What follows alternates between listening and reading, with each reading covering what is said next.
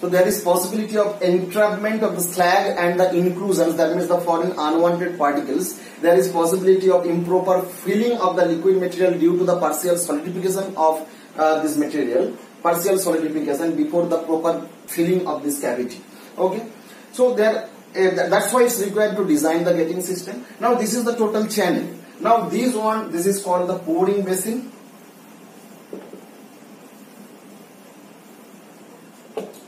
This one is called sprue. This is the sprue base. This one is runner. This is gate or ingates. This is the product cavity and this is called the riser. Okay. Now in this fixed in this fixture you find that all the element have some different dimensions and shape. Okay. And all these shapes have some that means definite purpose. Okay? So in this one the pouring basin so when you will fill the liquid material through the ladle in between this channel so the first first part this is the pouring basin. So what will occur at first it will fill. At first it will fill. So when it will fill then when uh, you fill uh, by the liquid material so there is no direct contact of the liquid material with the wall of the molding sand it will fill in between the pre-filled liquid material. So it will absorb some amount of kinetic energy and reduce the erosion of the molding sand. So this is the pouring basin. Now this is the sprue and you will find that the, the shape of the sprue this is taper. Okay, it's not uniform and there is some the definite purpose why, why we make it taper. Now when you fill the liquid material what will occur? So you will fill from that point so gradually it will fill in the downward direction. So when it will flow in the downward direction, its velocity will increase and we know that when its velocity will increase, its pressure will decrease. Okay, so if you consider the pressure at that layer, this is the atmospheric pressure. So this is the some, uh, the, this is some, uh, you can say that this is some definite, and this is closed space. So this is the atmospheric pressure. So here when it will travel in the downward direction, its velocity increase, the velocity of the liquid material increase. So at the same time, its pressure will decrease. So here this is the atmospheric pressure. So here with decreased pressure, you can say that this is the vacuum pressure. This is the vacuum pressure. Now if vacuum pressure, it will generate in this space, what will occur?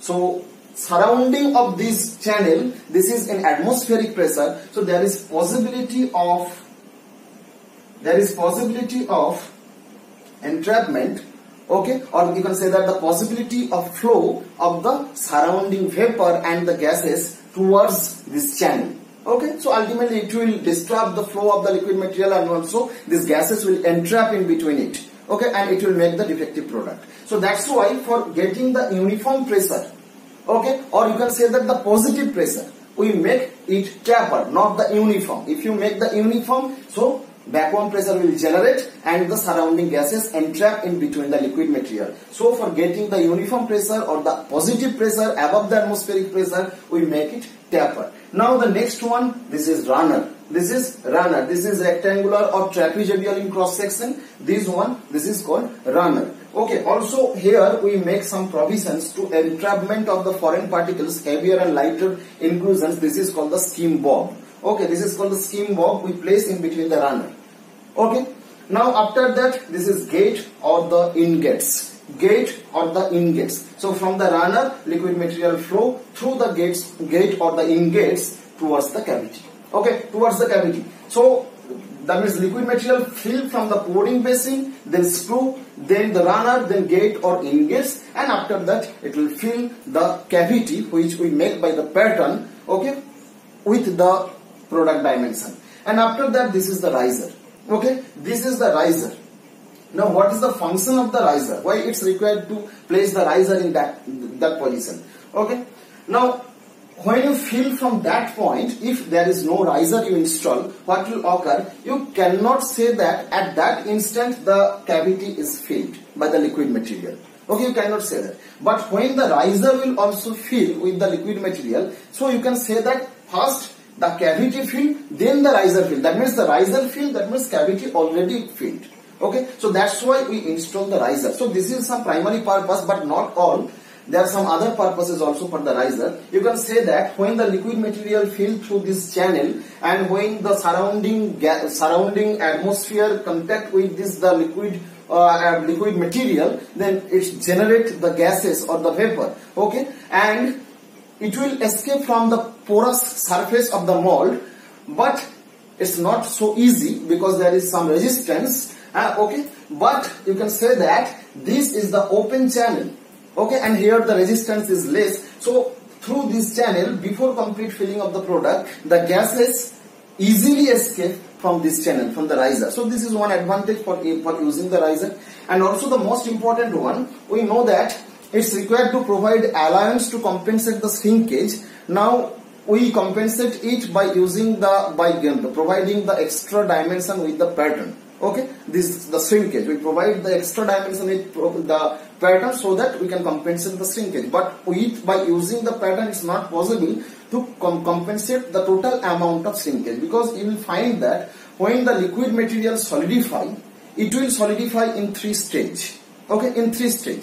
First it will solidify in between the temperature range this is the melting point temperature to the solidification temperature okay melting point temperature to solidification temperature or you can say that the melting point temperature to the liquidus temperature okay then the solidification take place in between the range the liquidus and solidus okay liquidus and the solidus liquidus that means above this temperature all the material will liquid in liquid state and solidus that means below that this temperature all the material in the solid state.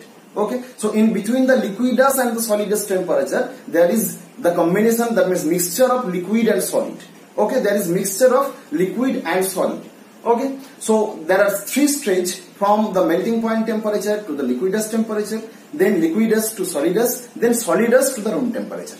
Okay? Then solidus temperature to the room, room temperature. Now in these three stages in all stages you will find some amount of shrinkage okay some amount of shrinkage now by providing the allowance, the shrinkage allowance with the pattern, we compensate the shrinkage what occur at the time of that uh, what occur in uh, at the time of the shrinkage in between the solidus to room temperature.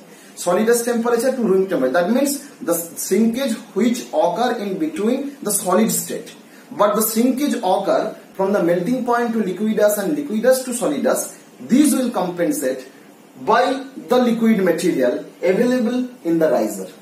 Okay, so when the shrinkage takes place in that stage, that means from melting point to liquidus and liquidus to solidus, it will compensate, its volume will decrease and the, the decreased volume, this will fill by the liquid material available in the riser. Okay, because you can say that first fill the cavity, then fill the riser. Okay, so the riser material riser liquid material it will solidify at but you can say that at, at last point okay? At last time okay? First the material solidify for the product okay? Then the riser. Then the riser. You can say that first solidify that means the uh, the solidification of the riser material take place at last at last okay? So the component that, that means the sinkage take place for the product. Okay? So this will compensate or this will backfeed by the liquid material available in the riser. Okay? So that's why these are the main functions of the riser. First it by filling the riser you can say that the, the cavity already filled. And also the that means the uh, the burn gases and the vapor these easily escape from the riser. And also the that means the, the, the shrinkage takes place at the time of uh, the melting point temperature to liquidus temperature and liquidus temperature to the solidus temperature, the shrinkage volume it compensates by backfeeding of the liquid material available in the riser. So these are the functions of the riser. So from this figure it's clear that there, there is required some proper channel through which we fill the liquid material in between the cavity. We cannot fill it without this design channel. If you fill it with without this design channel, what will occur? There will be turbulence of the liquid material. There will be erosion. There will be uh, that means uh, uh, it's there is possibility of throwing the foreign particles, unwanted particles, uh, then the inclusions or slag through the liquid material in between the cavity. Okay, so ultimately it will uh, it will uh, decrease the quality or make the defective product. Okay, so that's why it's required to uh, required to provide some designed channel through which we fill the liquid material in between the cavity. And these designed channels, there are different shape and size parts. This is the pouring basin, runner, sorry, this is the sprue, runner, gate or ingates and the risers. Okay, different shape, different size, different dimensions. And each and every one, each and every dimension and shape has some definite purpose. Okay, why this is taper? To make the positive pressure positive pressure. So that vacuum pressure cannot generate and there is no possibility of uh, of, of entering the foreign that means the the outer gases in between the liquid flow. Okay. Now this is the runner gate and the riser and it has definite purposes. So this is all for preparation of the mold. Okay